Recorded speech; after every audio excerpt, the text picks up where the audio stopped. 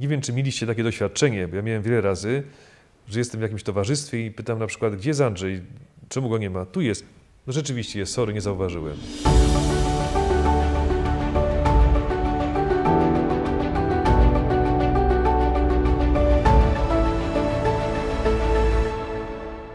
Moi kochani, podobnie jest z Panem Bogiem.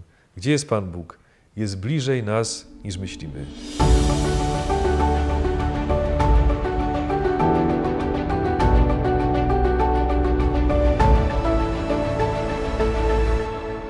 Witam Was, moi drodzy, w drugim dniu naszych rekolekcji. Mam nadzieję, że zrobiliście sobie dobrą herbatę. Mam takie doświadczenie z, z czasów mojej szkoły średniej, a potem jeszcze z czasów kleryckich.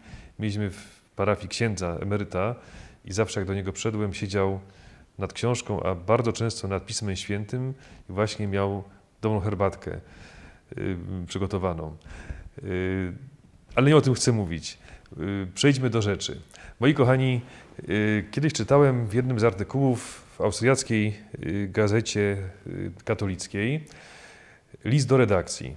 Napisała go starsza pani i mówi, że miała przyjaciółkę, z którą była bardzo zżyta. Zarówno ona, jak i ta jej przyjaciółka były jeszcze jedynymi osobami wierzącymi w rodzinie. Bardzo bolała ta jej koleżanka, że ma wnuczka, który nie jest wychowywany w wierze. Wnuczek miał na imię Mateusz i babcia robiła co mogła, brała go do kościoła, modliła się z nim, opowiadała mu o Bogu, ale potem zmarła. I mówi ta przyjaciółka, że pewnego razu słyszy dzwonek do drzwi yy, i wchodzi ten chłopak, Mateusz, trzyma jakąś paczkę. Mówi, przyjechałem z tatą, mamy dla pani przesyłkę. Ona mówi, to niech tata wejdzie też. Yy, Mówi, nie, nie, tata zostanie w samochodzie, bo prosił tylko, żebym pani to przekazał. To są rzeczy, których my już nie potrzebujemy, nam się to już na nic nie przyda, a pani to jeszcze może wykorzystać. I ona mówi, że była cie- zaciekawiona, co było w tej parce, otwiera szary papier, a tam różaniec, książeczka do modlitwy i obraz Matki Bożej.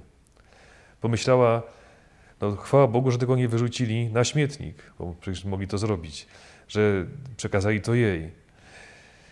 I dzieli się tym swoim gorzkim doświadczeniem z czytelnikami. Czy można stracić wiarę? Jak to jest, że dzisiaj tylu ludzi odchodzi od Pana Boga? Pytanie, czy rzeczywiście odchodzą od Boga? A może odchodzą od jakiegoś obrazu Pana Boga, który sobie sami rozwinęli w swoim umyśle, w swojej świadomości. Ja mam coraz bardziej takie przekonanie, że wiary nie da się stracić. Jeżeli ktoś naprawdę wierzy, to tej wiary nie zostawi. Popatrzmy na y, pierwsze spotkanie ze zmartwychwstałym Jezusem. Tym świadkiem jest Maria Magdalena. Biegnie z entuzjazmem do apostołów, żeby się podzielić tą wiadomością, a oni, jak mówi Ewangelia, potraktowali to jako czczą gadaninę. Apostołowie, tak bliscy Jezusa, trzy lata przy nim byli, nie uwierzyli, że to Jezus zmartwychwstały spotkał Marię Magdalenę, a ona uwierzyła. Dlaczego? Bo ona już przeżyła spotkanie z Jezusem zmartwychwstałym i doświadczyła tego spotkania, a oni to doświadczenie spotkania z żywym Jezusem po zmartwychwstaniu mieli jeszcze przed sobą. Ten, kto doświadczy obecności Jezusa, kto doświadczy obecności Boga w swoim życiu, zaczyna naprawdę wierzyć. Wiara rodzi się od tego spotkania. Trzeba spotkać, trzeba doświadczyć Jezusa zmartwychwstałego. Wyobraźmy sobie, że mamy takie zadanie: wytłumaczyć tylko przy pomocy słów, co to znaczy słodki smak. Nie wolno przy tym się odwoływać do żadnych słodkich potraw, do porównań, nie wolno pokazywać żadnych słodkich rzeczy. Moglibyśmy się dwoić, troić, robić co możemy. Nikt by nie wytłumaczył y, słownie, teoretycznie, co to znaczy słodki smak. W końcu każdy się podda i powie, no popatrz, no na przykład to jest, to jest słodkie. Y, spróbuj. No, y, już rozumiesz, co to znaczy słodycz? Co to znaczy słodki smak? Teoretycznie się tego nie da wytłumaczyć. Trzeba skosztować. I moi kochani, jeżeli ktoś nie doświadczył spotkania z Jezusem zmartwychwstałym, y, no to samymi słowami tego nie opiszę. Trzeba tego doświadczyć. Chciałbym teraz razem z Wami otworzyć y, siódmy rozdział Księgi proroka Izajasza. Widzimy, tam króla Ahaza, który jest w bardzo trudnym położeniu. Nie chciał przystąpić do koalicji państw przeciwko Asyrii. I teraz te wszystkie państwa, ich armie naciera, nacierają z kolei na niego. Jest otoczony ze wszystkich stron. Izajasz pisze, że serce Ahaza zadrżało ze strachu jak drzewa w lesie. I w takim położeniu nie widzi znikąd pomocy. Pan Bóg posyła do niego Izajasza. Izajasz mówi: Nie bój się, niech Twoje serce nie drży ze strachu, proś Boga o znak. Pan obiecał, że da Ci znak i wyprowadzi Cię z tej sytuacji. Ahaz mówi: Nie będę prosił Boga o znak, nie będę wystawiał Boga na próbę. Brzmi to bardzo pobożnie, ale Ahazowi wcale nie chodziło o szacunek względem Boga. Po prostu nie chciał Bogu zaufać. Bał się, że jak odczyta znak, będzie musiał z tego wyciągnąć konsekwencje i zmienić swoją decyzję. Ahaz nie ufał Bogu, nie chciał znaku. I wtedy Izajasz mówi: W takim razie Pan sam da wam znak.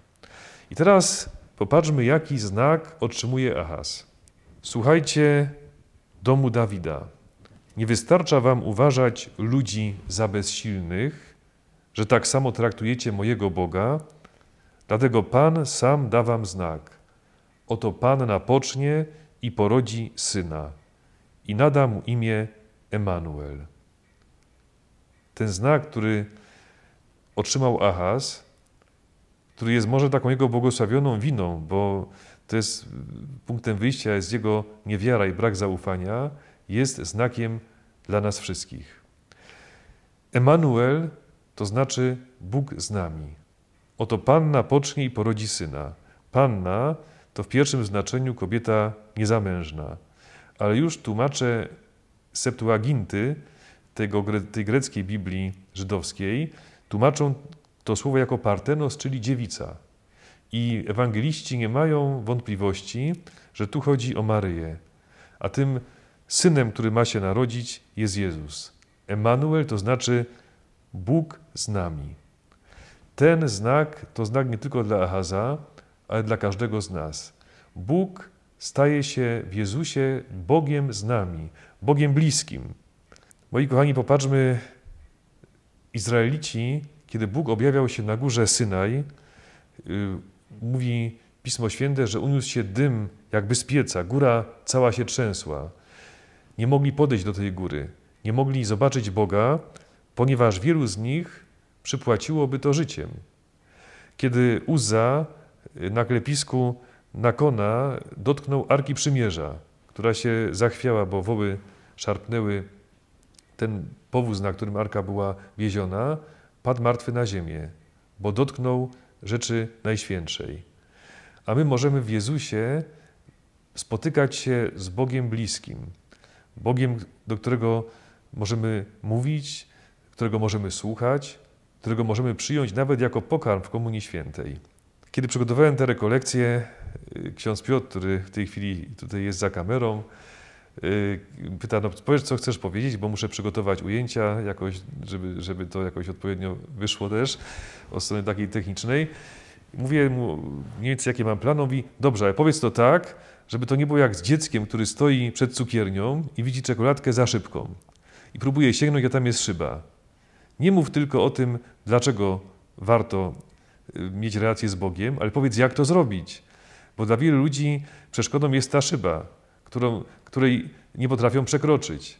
Wiedzą, że może by chcieli mieć relację z Bogiem, jak tą, jak tą relację rozwinąć, jak spotkać żywego Boga, gdzie jest Bóg, jak go spotkać. Nie mów tylko o tym, że warto to zrobić, tylko jak to zrobić. Trzeba skorzystać, moi kochani, myślę, z przykładu, z przykładów świętych. Patrzę na mistyków, na przykład święta Teresa od Dzieciątka Jezus. Uderzające dla mnie jest to, że ci święci nagle przestali bać się chorób, śmierci. Teresa miała 24 lata w zimnym klasztorze, jak w Kosnicy, yy, z gruźlicą. Ona była, ona była szczęśliwa. Umierała w wieku 24 lat i zapytana przez jedną siostrę, powiedz, ty się nie boisz śmierci? Ona mówi, nie, to będzie takie proste. Najpierw ja zamknę oczy, a mój Jezus rozciągnie swoje ramiona, a potem ja otworzę oczy, On mnie obejmie i zamknie nade mną swoje ramiona. Albo Bernadetta z Lourdes. Też była już potem w klasztorze, ciężko chorowała Siostry nie dopuszczały tam do niej zbyt dużo osób, zwłaszcza dziennikarzy, którzy byliby ciekawi, już wtedy y, się prasa rozwijała, y, szukaliby sensacji, ale podobno jedna z mieszkanek tamtej miejscowości, y, młoda dziewczyna, miała do niej dostęp i pewnego razu zadaje pytanie: Powiedz mi, a czy Matka Boża, którą spotkałaś, spotykałaś w Lourdes, jak ona wyglądała? Czy była piękna? I wtedy Bernadetta się uśmiechnęła i mówi: Ona była tak piękna, że kto ją raz zobaczył, już potem chce umrzeć, żeby jak najszybciej zobaczyć ją po raz drugi. Jakie oni musieli mieć doświadczenie Boga, Maryi, świętych, że to doświadczenie wzbudziło w nich taką tęsknotę, że już się niczego nie bali. Kapitalnie opisuje to psalmista. W psalmie 53 znajdujemy takie słowa. Ci, którzy nie wzywają Boga, tam zadrżą ze strachu, gdzie bać się nie ma czego. Popatrzcie, ten, kto się nie modli, kto nie ma relacji z Bogiem, zadrży ze strachu, tak jak król Ahaz, tam, gdzie nie ma powodu do lęku. I teraz odwrotnie, ten, kto trwa w relacji z Bogiem, ten, kto doświadcza Jezusa na modlitwie, spotyka się z Nim, może się nie będzie bał, nawet tam, gdzie się jest czego bać. Ryta Stein, Teresa Benedykta od Krzyża, y, współpracownica Husserla, człowiek no, naj, najwyższego formatu, y, poziom intelektualny i osiągnięcia dla filozofii y, niesamowite. Była człowiekiem prostej modlitwy. I ona powiedziała tak: Jeżeli modlisz się o pokój serca, żeby Pan, żeby Pan oddalił z Twojego serca lęk, to tak długo się módl, nie odchodź z modlitwy, aż w Twoim sercu nie zjawi się pokój. Do skutku.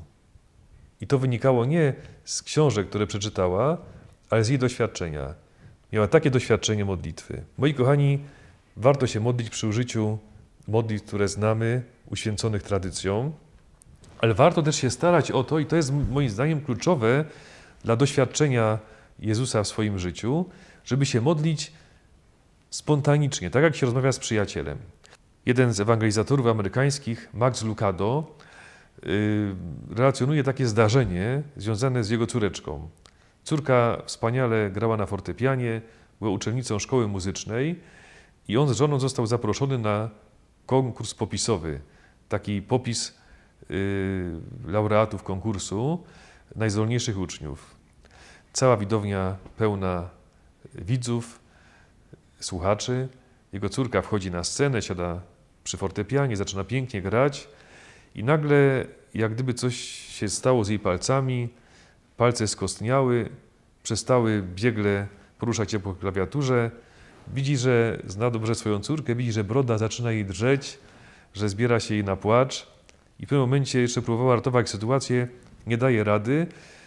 Z płaczem wstaje od klawiatury i dziecko ucieka ze sceny. Tata ruszył do, zaraz za kulisy, żeby ją ratować. Już sobie myślał, jak ją pocieszyć, że to nic, że przecież to są dopiero początki, że ma wszystko przed sobą. Ale kiedy córka go zobaczyła za kulisami, okazało się, że żadna z tych pociech nie była potrzebna. Ona po prostu rzuciła mu się w ramiona, mówi: Tatusiu, i to wystarczyło. I mówi ten ojciec i ewangelizator w jednej osobie, i to jest początek modlitwy. Niepotrzebne są słowa. Wystarczy przyjść do Jezusa i powiedzieć: Popatrz, popatrz, co jest w moim życiu, popatrz, co ja znowu narobiłem. Wystarczy powiedzieć Bogu, tatusiu, tato, popatrz, popatrz na moje życie. Papież Franciszek mówi, że jego ulubioną formą modlitwy jest adoracja Najświętszego Sakramentu. I mówi tak: Często zdarza mi się zasnąć po całym dniu pracy przed Najświętszym Sakramentem. Śpię nieraz godzinę, ale kiedy się budzę i odchodzę z tej modlitwy, czuję się jak nowonarodzony. Mam nowe siły, nową nadzieję, bo trwałem, mimo że przez sen, przed Najświętszym Sakramentem. Popatrzmy, moi kochani, modlitwa, jej wartość wcale nie leży w jakości wypowiadanych słów. Ten y, autor y, książki, y, o którego tu zacytowałem, ten Max Lucado, który mówi o tej swojej córeczce, mówi: Zobaczmy, dziecko widzi tatę i wyka wykazuje taką spontaniczną radość na widok ojca. A wyobraźmy sobie, że tata przyjeżdża po dziecko do szkoły, a dziecko by zareagowało takimi słowami: Ojcze, cieszę się, że jesteś tak łaskawy, że przyjeżdżasz swym samochodem do instytucji edukacyjnej, by zapewnić mi dojazd do domu. Wiedz proszę, jak głęboką wdzięczność żywię za Twoją łagodność. Wielka jest Twa umiejętność uważnej troski i gorliwego oddania dla dziecka. Żadne dziecko tak nie powie. To są sztuczne słowa. I oprócz słów, które warto stosować, słów y, uświęconych tradycją Kościoła, trzeba również umieć z Panem Bogiem rozmawiać po prostu serdecznie, własnymi słowami, tak jak się rozmawia z przyjacielem. Bardzo ważną umiejętnością na modlitwie jest słuchanie Boga. Pan Bóg do nas mówi. Pamiętam, y, kiedy ostatni raz był papież Franciszek w Polsce, znaczy, kiedy był właściwie raz był w czasie Światowych Dni Młodzieży, y, y, program chyba drugi Polskiego Radia wysłał dziennikarzy przed okno na ulicy Franciszkańskiej 3 w Krakowie. I wśród uczestników tego spotkania z papieżem, oczekujących właściwie wtedy na spotkanie, był Budziaszek, nasz słynny perkusista. Podchodzi do niego dziennikarka i mówi, jak pan przeżywa tę chwilę? On mówi, skorzystam z okazji. My tutaj czekamy na spotkanie z Ojcem Świętym. Nie ominąłem żadnego z tych spotkań w poprzednich, przy okazji poprzednich wizyt papieży, ale chciałem się podzielić moim doświadczeniem. Czekam tu na spotkanie z papieżem, ale codziennie spotykam się na adoracji Najświętszego Sakramentu z samym Bogiem, z Jezusem. I mam taki zwyczaj, że zadaję mu pytania. Jeszcze nigdy się nie zdarzyło, że nie przyszła odpowiedź. Albo przychodzi za pięć minut, za godzinę następnego dnia, ale żadne z tych pytań nie pozostało bez odpowiedzi. Wysłuchałem tej audycji, mówię, no super, facet korzysta z okazji, żeby nie tylko mówić o swoich wspomnieniach i y, swoje emocje przedstawiać, ale potrafi wykorzystać ewangelizacyjnie te szanse. Moi kochani, to jest dla nas też taka nauka, żeby każdą okazję wykorzystywać, jeżeli mamy taką potrzebę, oczywiście, by promować Jezusa w świecie. Skorzystałem z tej porady. Niedługo potem adoracja Najświętszego Sakramentu miałem ważną sprawę. Zadaję Panu Jezusowi pytanie i proszę sobie wyobrazić, nie ma tutaj czasu, żeby rozwinąć ten wątek, ale za pięć minut przyszła odpowiedź. Naprawdę warto to spróbować. Modlitwa jest wielką przygodą, tylko trzeba dać Panu Bogu szansę i wejść w to doświadczenie modlitwy. Modlitwa wcale nie musi być idealna. Ta modlitwa wcale nie musi być yy, nieskażona rozproszeniami, nie musimy dobierać słów. Piękny jest wiersz, takie właściwie rozważanie księdza Twardowskiego o niedokończonych różańcach. Nieraz się ludzie radzą księdza, no, jestem zmęczony, zasypiam, mam rozproszenia na modlitwie, co zrobić? Ksiądz Jan Twardowski mówi, popatrzcie, jak piękne są niedokończone różańce. Na przykład różaniec odmawiany przez chorego, który zasnął w czasie modlitwy, albo przez osobę zmęczoną, która stale zaczyna, bo wciąż się myli, albo różaniec człowieka, który umarł w czasie modlitwy. To jest piękno niedokończonych różańców. Nieważne, że ktoś go nie dokończył, ważne, że rozpoczął. Dla mnie praktyką, która pozwala najlepiej doświadczać obecności Boga w moim życiu, jest rachunek sumienia świętego Ignacego, ignacjański rachunek sumienia. Od razu uspokajam wszystkich, którzy go nie znają. On ma bardzo niewiele wspólnego z takim rachunkiem sumienia, który czynimy przed spowiedzią. To nie jest rozliczanie się ze swoich grzechów. Ten rachunek składa się z pięciu punktów. Y, warto w internecie na przykład znaleźć sobie, jakie są etapy tego rachunku. W każdym razie jego zasadniczą częścią jest poszukiwanie miejsc, w których Pan Bóg zadziałał w moim życiu. To jest pierwsza część rachunku sumienia ignacjańskiego, y, budzenie wdzięczności za Bożą obecność, Boże działanie w życiu. I moi kochani, to jest tak, że kiedy ten rachunek on trwa 15 minut. Najlepiej, że nie mniej ani nie więcej. Trzeba go zrobić w takim momencie dnia, żeby jeszcze nie być śpiącym, bo doświadczenie mówi, to ręczę, że jak będzie już to za późno, po serialach, po wszystkim wieczorem o 23, to po 5 minutach zasypiamy. Trzeba mieć, być tu rzeźkim. Yy, pierwszy moment tego rachunku to pytanie, gdzie, w którym momencie dnia, który mam za sobą, Pan Bóg zadziałał w moim życiu. I to są niesamowite doświadczenia, niesamowite odkrycia, że my widzimy, że Pan Bóg działał w wielu momentach dnia. Właściwie był cały czas obecny, w każdej sytuacji. I to rodzi niesamowitą wdzięczność za działanie Pana Boga. Kiedyś miałem bardzo ciężki dzień. Wszystko wydawało się do niczego. Jak struty szedłem spać, robię rachunek sumienia. Mówię, no, no chyba dzisiaj to mi nie wyjdzie, bo no, dzień do niczego. I nagle się okazuje, że proszę Pana Boga, proszę Ducha Świętego o światło, żeby zobaczyć, gdzie zadziałał w moim życiu, gdzie go doświadczałem. I co się okazuje, że w tym dniu miałem bardzo dobrą rozmowę z jednym z księży, bardzo wartościową. Napisałem część artykułu. Przeczytałem fragment ciekawej książki. Wyprasowałem kilka koszul, które czekały na wyprasowanie. Zrobiłem porządek na biurku. I to tylko niektóre rzeczy, które w tym dniu mi się udało zrobić. Mówię, przecież Panie Boże, co z tego, że mam dzisiaj w tym momencie taki zły nastrój, że takie smutne y, emocje przychodzą, jak tyle dobra udało mi się zrobić z Twoją pomocą. I gdybym nie zrobił tego rachunku sumienia, to bym szedł spać z przeświadczeniem, z przekonaniem, że dzień był do niczego.